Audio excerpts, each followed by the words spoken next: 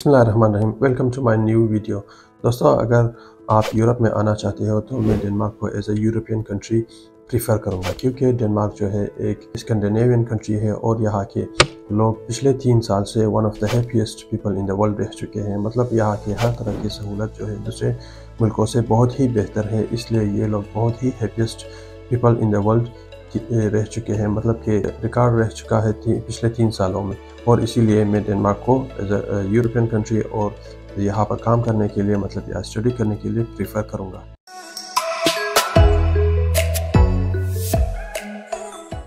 और इसके साथ में ये भी बताते चलो कि अगर आप यूरोप में आना चाहते हो तो सबसे आसान तरीका यही होगा कि आपने वर्क वीज़ा अप्लाई करना है। मतलब कि आपने वर्क के ज़रिए यूरोप में आना है। वो बहुत ही सस्ता और बहुत ही इजी ये प्रोसेस है, मगर इसके लिए आपको काम ढूंढना होगा। पिछली वीडियो में मैंने बताया था कि आप कौन से वेबसाइट्स यूज़ करके आपने काम ढूंढना है, मगर इस वीडियो में मैं आप को पाँच ऐसे बड़े कंपनीज़ के नाम बताऊँगा जो कि आप उनको डायरेक्टली फॉलो कर सकते हो और आप वहाँ पर देख सकते हो कि ऐसी वैकेंसीज है जो आप अप्लाई कर सकते हो तो आप डायरेक्टली अप्लाई कर, करते हो और वहाँ पे उसके बाद आप अपना वीज़ा अप्लाई करके यहाँ पर आके शिफ्ट हो सकते हो।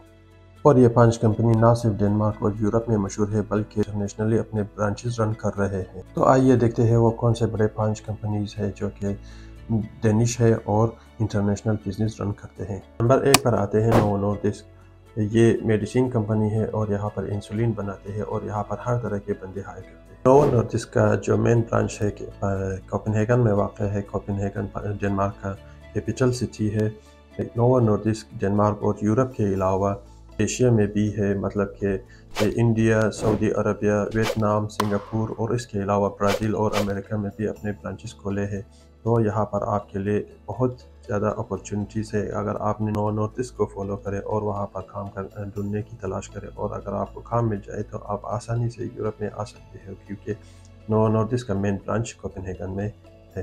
दूसरे नंबर पर आते हैं क्रूनफोस क्रूनफोस जो कि सेंट्रल जटलैंड में पाए जाते हैं। अगर डेनिश में इसे कहें तो मिड यूलन में वाक़ है इसका मेन ब्रांच और इसकी जो अदर ब्रांचेस इंटरनेशनल ब्रांचेस है, वो स्पेशली अफ्रीका इंडिया और अमेरिका में है। तो आप इस कंपनी को भी फॉलो कर सकते हो और वहाँ पर अपना सुटेबल जॉब ढूंढ सकते हो।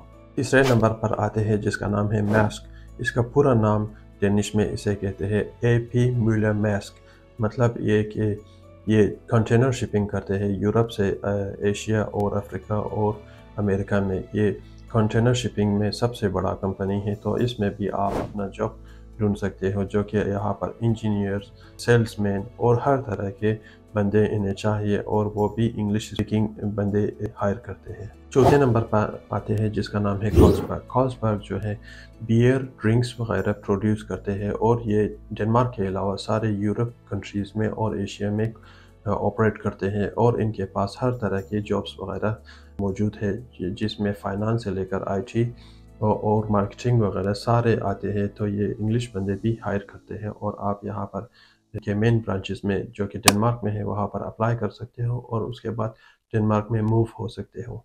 पाँचवें नंबर पर आते हैं, जिसका नाम है आला फ़ूड इसके नाम से पता चलता है कि ये फ़ूड कैटेगरी में काम करते हैं, मगर इनका जो सिर्फ़ और सिर्फ़ मेन प्रोडक्शन है, वो है डेरी डेरी फ़ूड मतलब कि दूध वगैरह ये लोग पैकिंग करते हैं और उसको आगे बेचते हैं। इनका जो मेन ब्रांचेस है, वो आगोस के करीब एक शहर, जिसका नाम वेलबुई है, वहाँ पर वाक़ है और वहाँ से अपने सारे ब्रांचेस को ऑपरेट करते हैं। और आला फ़ूड यूरोप और डेनमार्क के अलावा बहुत से दूसरे एशियन कंट्रीज़ में भी अपने ब्रांचेस खोले हुए हैं। और आला डेयरी मैन से लेकर आईटी स्पेशलिस्ट ब्रांडिंग मार्केटिंग और सारे इन शोबों में वैकेंसीज ऑफ़र करते हैं। और ना सिर्फ़ डेनिश में, बल्कि ये इंग्लिश स्पीकिंग बंदे को भी हायर करते हैं। तो आप इन वेबसाइट्स को फॉलो कर सकते हो और अपने शोबों में काम ढूंढ सकते हो। इन पाँच बड़े कंपनीज़ के अलावा दूसरे ऐसे भी कंपनीज़ हैं जो कि इंग्लिश स्पीकर हायर करते हैं, जिनका नाम है Vestas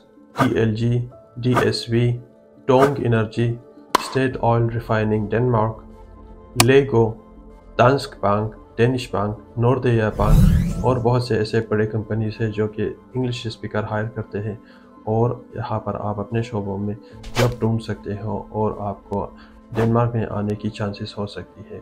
तो उम्मीद है आप लोगों को ये वीडियो पसंद आए और अगले वीडियो के लिए इतना ही काफ़ी था। अल्लाह हाफिज़।